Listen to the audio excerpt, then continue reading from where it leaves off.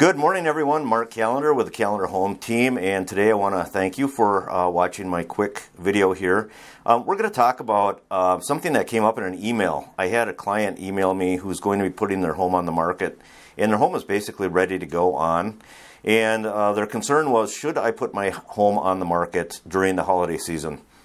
And I've always said that um, it's really a, seller's choice what they would like to do. And I'm going to give you some pros and cons of putting your home on the market um, this time of season because there can be some um, issues that could come up while you have your home on the market, especially during Christmas season or Kwanzaa, that type of thing. So, um, when you put your home on the market during the holidays, Thanksgiving, Christmas time, let's say, you're going to have uh, less competition. So other homes that are out there, they are not going to be um, putting their home on. These these sellers they're going to wait because they don't want the disruption during the holiday.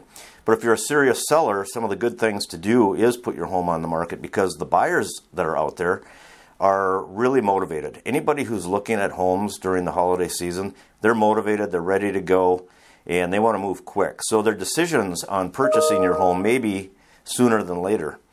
Um, one of the other things is agents have more time for your seller, meaning the, the agent who's working on your behalf to sell your home, they're not inundated with three, four, five other homes that are potentially um, they're working on with you know in, in conjunction with yours. So they're going to be focusing on your property mostly during this this time. Um, one of the other things is um, when you put your home on the market during the holidays, let's talk about the cons. The cons are this it's your home is decorated. You may have Christmas presents under the Christmas tree.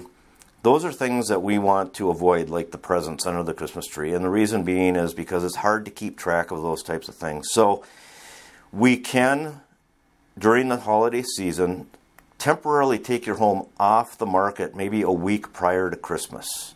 And then that way you can put your Christmas presents under the tree and not have to worry about having something taken or stolen. Not that that happens very often. Most agents keep a good eye on their buyers, and typically it's not going to be an issue. But um, one of the things too with during the holiday season, it's harder to keep your home looking its best, um, just because of Christmas wrapping and decorating and those types of things, and maybe having people over and all of that. So, um, anyway, those are just a couple pros and cons that I wanted to share with you today. But if you have questions on whether you should list during the holidays or not, please give me a call. Um, I do have a list of pros and cons that I can I can certainly send you in an email. And anyway, thanks for watching today, and I want to wish you a very happy weekend coming up.